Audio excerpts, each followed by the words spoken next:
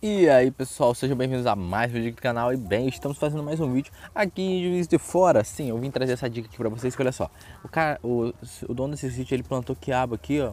Eu queria mostrar pra vocês é, uma dica muito legal. Não na plantação de quiabo, mas sim na plantação de couve, que é muito interessante. Aqui a gente faz o chamado plantio orgânico, plantio direto que você faz o plantio das suas da hortaliças, suas verduras, no meio do, da vegetação natural, entendeu? Você pode ver que está cheio de mato, mas isso não é por câncer.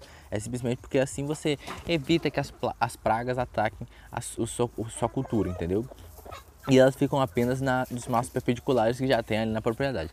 Aqui ele tem apenas três pés de couve e a gente pode notar um erro aqui muito grande. Que os pés de couve estão todos cheios de muda, tá vendo? Isso aqui não pode porque isso acaba sugando a força do pé de, de couve e ele não se desenvolve tanto é, a questão, a, a, a, folha e você não vai ter uma produção muito legal. Olha isso aqui, todo abafado.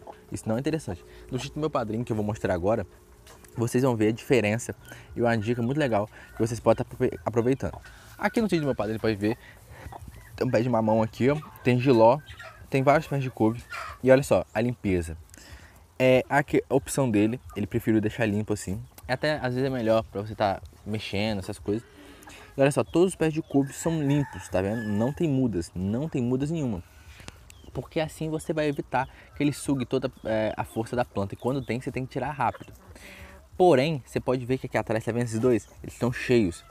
Porque dentro do plantio de couve você tem que fazer o quê? Você pega, deixa a maioria das suas plantas limpas e essas plantas assim são chamadas de plantas mães.